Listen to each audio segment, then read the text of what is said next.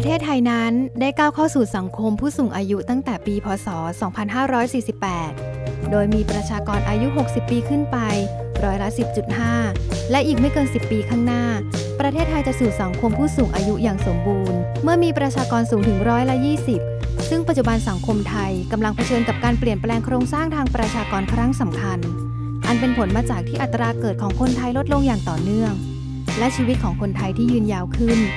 หรือจะกล่าวอีกในหนึ่งก็คือ ประชากรที่อยู่ในวัยสูงอายุมีจำนวนเพิ่มมากขึ้น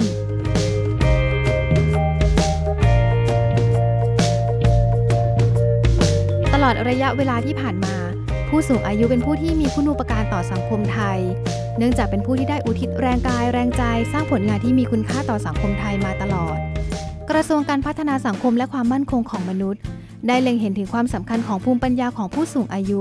ที่ได้เรียนรู้สั่งสมและสืบทอดต่อกันมาจากอดีตถึงปัจจุบันจำนวน 23 ด้าน ไม่ว่าจะเป็นภูมิปัญญาในด้านเกษตรกรรม ด้านอุตสาหกรรม ด้านแพทย์แผนไทย ด้านการจัดการทรัพยากรธรรมชาติและสิ่งแวดล้อม ด้านกองทุนและธุรกิจชุมชน ด้านศิลปกรรม ด้านภาษาและวรรณกรรม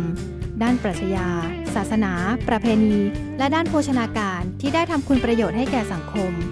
อีกทั้งยังมีส่วนร่วมในการพัฒนาเศรษฐกิจและสังคมของประเทศ เปิดโอกาสโดยให้ผู้สูงอายุที่มีจิตอาสา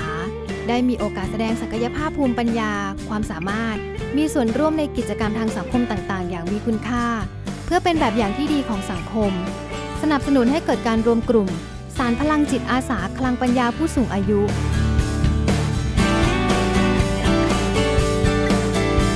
รวมทั้งกระทรวงการพัฒนาสังคมและความมั่นคงของมนุษย์ โดยกรมกิจการผู้สูงอายุ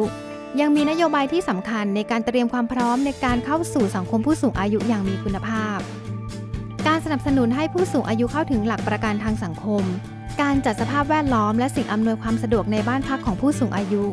และจัดสวัสดิการสังคมสำหรับผู้สูงอายุที่ครอบคลุมมิติทางด้านสุขภาพ สังคม จิตใจ และเศรษฐกิจ โดยเฉพาะมิติด้านเศรษฐกิจที่เน้นการสร้างรายได้และการมีงานทำที่เหมาะสมสำหรับผู้สูงอายุ การลดหย่อนอัตราค่าโดยสาร รวมถึงการจัดสวัสดิการด้านที่อยู่อาศัยสำหรับผู้สูงอายุ เพื่อยกระดับการจัดบริการและสวัสดิการทางสังคมในการคุ้มครอง ส่งเสริมการพัฒนาคุณภาพชีวิตผู้สูงอายุแบบครบวงจร สามารถตอบสนองปัญหา และความต้องการของผู้สูงอายุในชุมชนและสังคมในอนาคต